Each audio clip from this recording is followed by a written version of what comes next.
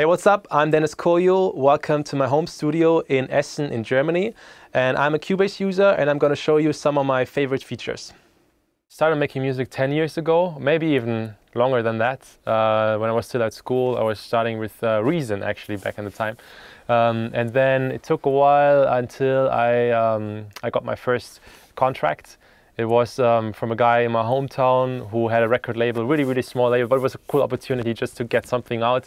And um, then I, I just continued working and um, I got in touch with a record label in Cologne, Germany. There was like the first guys that uh, took me into the industry and I got in touch with a couple of DJs and, and other uh, people from the industry and um, I got some first remix opportunities back in the days. I wanted to be able to, you know, I wanted to see like, okay, is it actually possible to make money with music? Mm. Can I live from it?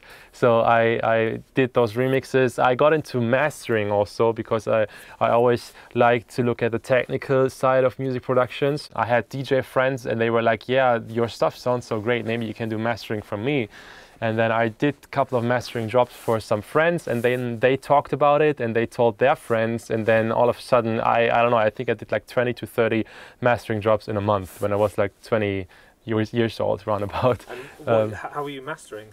Just uh, software mastering. Just yeah, I, I used all the stuff from UAD. Uh, which I'm still a big fan of, by the way. It's, it's great plugins.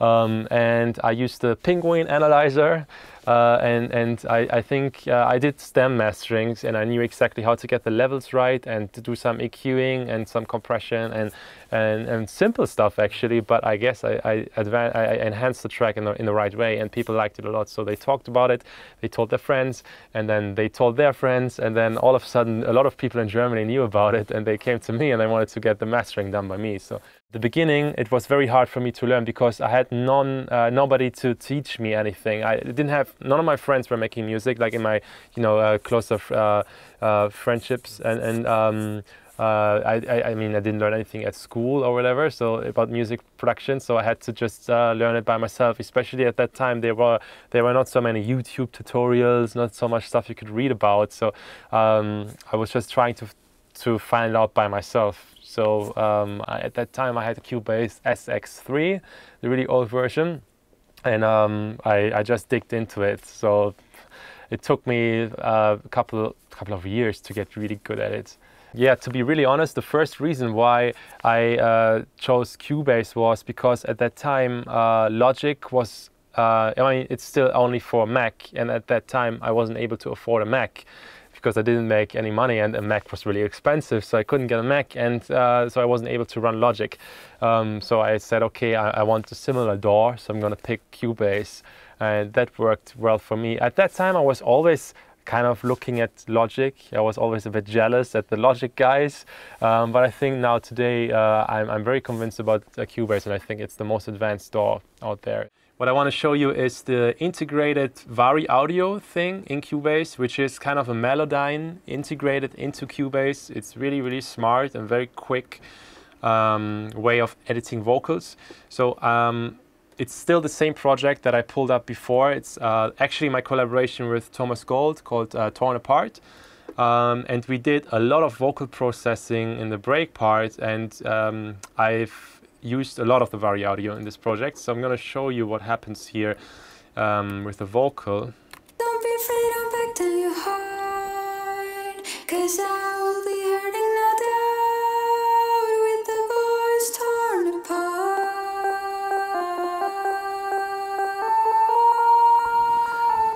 This is Vari Audio, what's happening here with that melody thing that we created. So basically we uh, cut a little sample from the vocal, looped it, and then I'm taking those little slices uh, and I'm going into the editor. Um, what you gotta do is you go into Vari Audio here, uh, you hit the pitch and warp thing, then it analyzes your notes, and now you can just easily grab uh, one of those notes here you hit the pitch and warp and put here and then you can do this. Put it move it to any note you want to and we wanted it to play this melody so uh, I think you get it. It's, it's really simple. So just, you know, when you want to move it up, you just, I, we just grabbed this little snippet and uh, pitched it up. And then that's how we built that melody. Actually, I'm going to show you the original vocal recording, which was completely different because we bended the whole vocal into a totally new melody and it still sounds natural. I think it's pretty amazing. All right, so here's the original vocal from the original track recordings from the beginning. It was a totally different melody. Don't be afraid, I'm back down your heart. This is the original.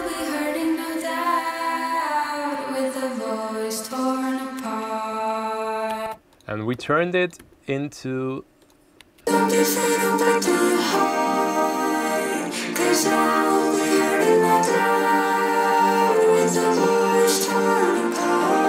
completely different melody because what we did, what happened is we um, came up with a vocoder melody. I'm gonna solo the vocoders. These were just totally different chords. We had the chord idea from a different track and we used it on these vocals with a vocoder. We liked it a lot with that melody. So then we were like, okay, but what we have to do with the original vocal is we have to bend it into the vocoder melody. And we did it completely with Vari Audio. Um, so the full vocal, this is all pitched.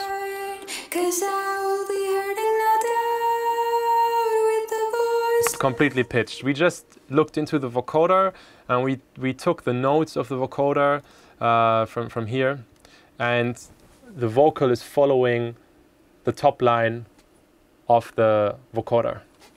I did it by hand pitching.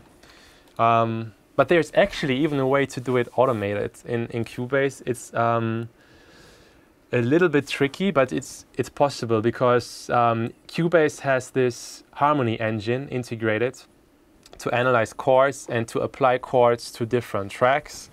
And it even works uh, simultaneously with the Vari Audio. So the Vari Audio can follow the chords that you created on a different track. Um, I tried it only one time and it works. I can, I mean, we could, we could try it.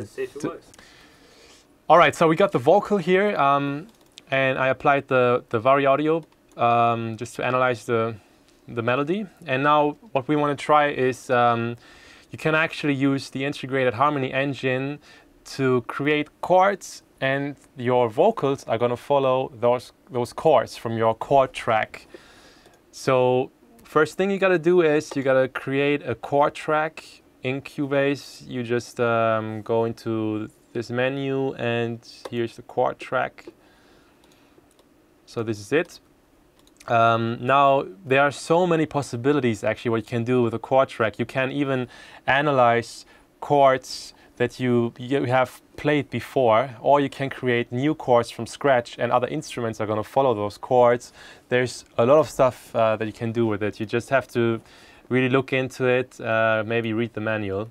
Uh, but what I'm going to do now is I'm going to create some basic new chords. Um, so this is the first one. You double click and select a chord. Let's do C major. Um, next chord. Um, now what you can do is you can either pick a chord yourself, whatever you want to, or there's a chord assistant. And this chord assistant tells you what could be the next chord. Like it gives you options, mm. stuff that makes sense musically.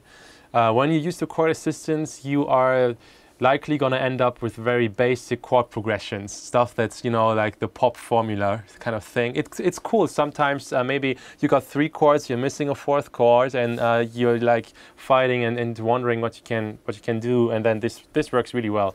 Um, okay, let's just pick what this guy suggests. All right, here we go. First thing now, I'm gonna add a new instrument. Um, anything, just now a simple sound. Let's pick the Nexus.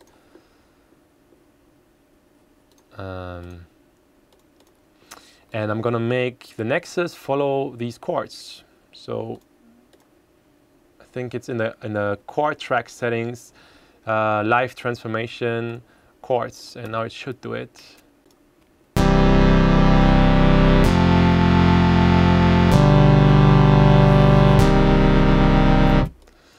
This is a bit low. Maybe we can move it up an octave.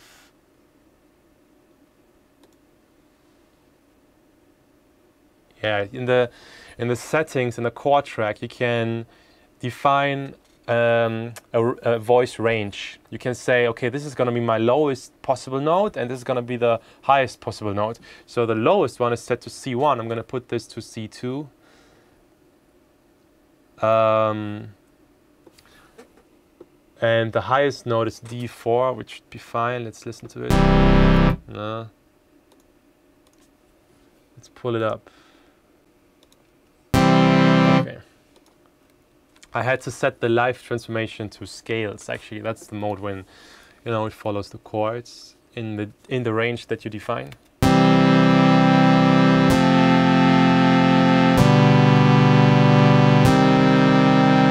The last chord is a bit nasty, so maybe we pick that, go into the chord assistant and just select something else that it suggests. Let's do this.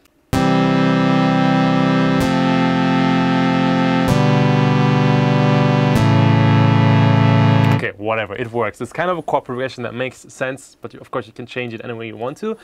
Um, and now we want to try to make the vocal transform uh, in a way that it works together with these chords harmonically. So um, let's look into it. Okay, so we have the original vocal here. Um, don't be afraid, don't back down your heart Cause I will be hurting no doubt With the voice torn apart Okay, that's the original. Now um, we're gonna use the chord track to so that the vocal follows the chord track. You set it here. Uh, there are different modes you can, you know, different options you can choose from. Chords, scales, uh, um, voicings and stuff. Uh, I think in this case we have to choose single voice. Um, and now you got two options. You can um, you, oh yeah, you can tell them if it's if it should follow the chord track directly, or in case if you have um, your own chords played before, I think it can try to um, it can try to match the chords you played before and match it to the chord track first, and then it applies it to the to the vocal. It's really complex. There's so much stuff you can try out, but I'm just gonna tell it to follow the chord track directly now. All right.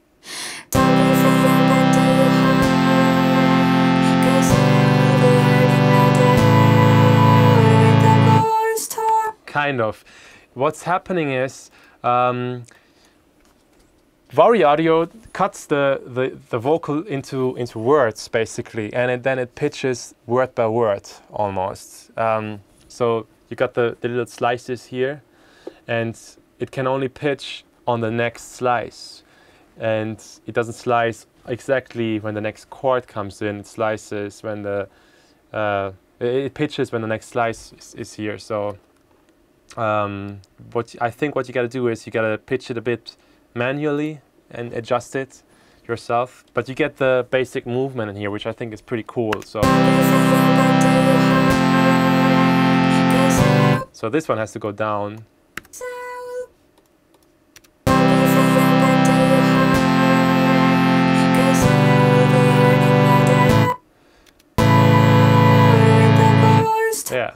works. It's, I mean, we're just talking about harmonics now, and if it's musically correct. So, I mean, it doesn't really sound nice, but you, you get the idea and, and it works.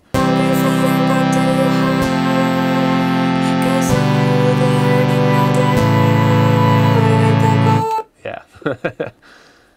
so you get the idea. Um, this can be really cool for, you know, very creative work, actually, if you want to do really crazy vocal editing and, and uh, um, if you know, for for instance, for dubstepish kind of stuff on, on vocal effects, you can you can do it. Or um, also, if you do a remix, maybe it's pretty cool if you want to change the melody of the vocals, and and if you come up with different chords, and you know, you can use that stuff to to change and and pitch bend everything. So it's I think it's a really cool feature. Plus, it's really unique because no other DAW has it. Okay, so I'm going to show you a couple more Cubase features that I think are pretty cool. Um, I'm going to show you some MIDI related stuff. So what I'm doing now is I just created a Kontakt and um, I'm gonna load a snare sample. I'm gonna show you how to create a snare fill and uh, use some of the randomized features, uh, MIDI features of, of Cubase. So I'm gonna do this basic thing here.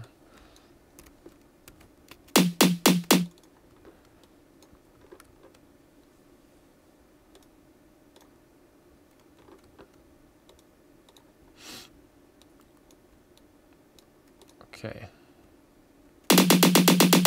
All right. So right now it's totally static. Um, what I'm doing now is you select all the nodes, you go to MIDI logical presets, and now you get you got so many different presets here um, with cool stuff to do. And what I'm doing now is uh, random velocity, let's say uh, 60 to 100. Maybe that's a bit too much. Maybe uh, 85 to 100. Uh, and here the velocity now changed from, from this to this. And when you play it,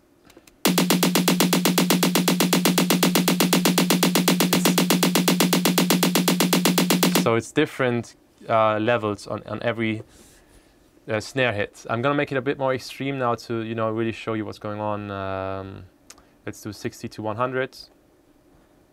So now it's more drastic.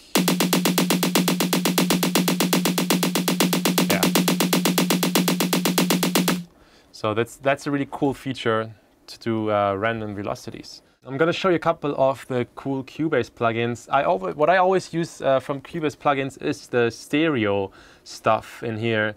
So for instance, um, you gotta go to Spatial plus Panner, and you got stuff like um, mono to stereo or the stereo enhancer. So if you in that case, the stereo enhancer, you got the, the widening knob here. Um,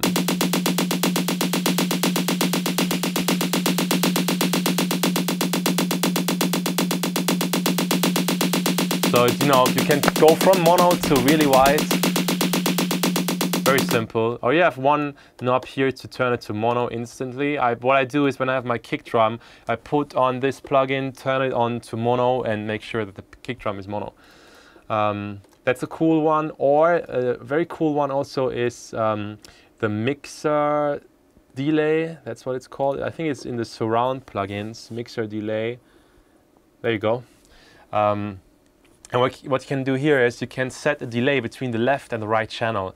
Um, and when you do something small, like let's say 10 milliseconds, this is the, the widest effect that you can create. So uh, now it sounds like super wide.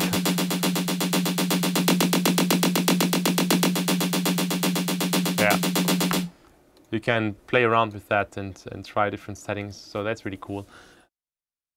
Yeah, the new mixing uh, console is, I think, is really amazing in the in the new version. I'm using Cubase 7, um, and yeah, they they made it really cool. What the cool thing about it is it's it's full screen and it's uh, it's uh, adjustable. The size is flexible, so um, I have to turn it into this now, and um, it kind of adjusts. You can you can you know here you can uh, change the the width of every channel, and you got your inserts here, uh, your EQ for instance, and now you can also increase the size of your faders.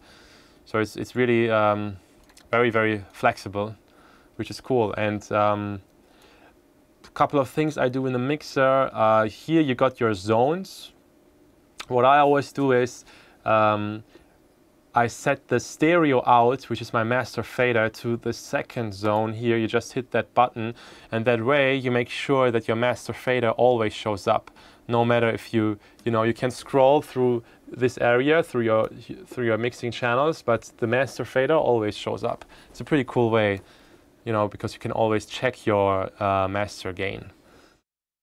So yeah, the mixing engine of Cubase is extremely good. You get so much headroom in Cubase. The headroom is, is uh, you get so much headroom. Um, you know what I do when I when I start a new project, um, I start with my kick drum, and I'm gonna just pull up a kick now.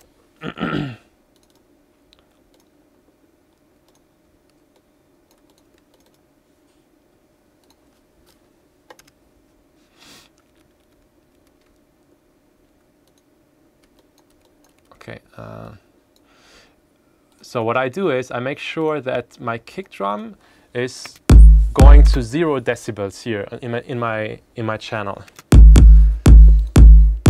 And now everything else that I, that I create from that point on is, um, is, is relative to that reference here. So I, I, I leave it to, to 0 dB and I mix everything according to the 0 dB of the kick drum and then I might have to pull down my master fader, let's say by 2 decibels, but that's it. Um, and that's only possible because you have so much headroom in, inside the engine of Cubase. Okay, so um, I just pulled up a sub bass, really, really simple one. It just it's just playing off notes on on A, and now I want to show you how I how I mix on how I level my kick drum and uh, according relative to the to the sub bass. Um, what I'm using is uh, I, I'm, I'm using the Penguin analyzer, which I got on my TV, but it's this one here. Um, so the kick drum is here. Um, to make it a bit easier now I'm gonna level it this way so we hit exactly the minus 10. Uh, okay.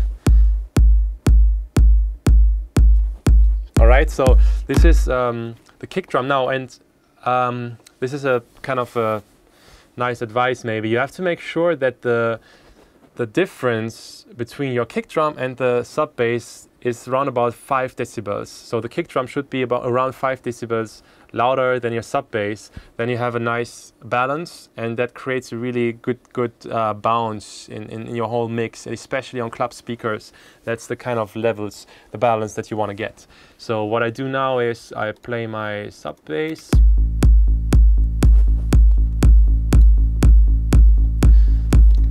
to make it a bit more simple now, just to show it more obvious, I'm gonna play a different note. Let's say G2. This way we can see it better in the analyzer. Okay, so here is the sub bass now, and the kick is here, so we got a difference of 10 decibels. That's too much. If I play it solo, yeah, this is it. So I'm gonna pull this up until I have a difference of 5 decibels. Should be kind of here. Yeah, maybe a bit more.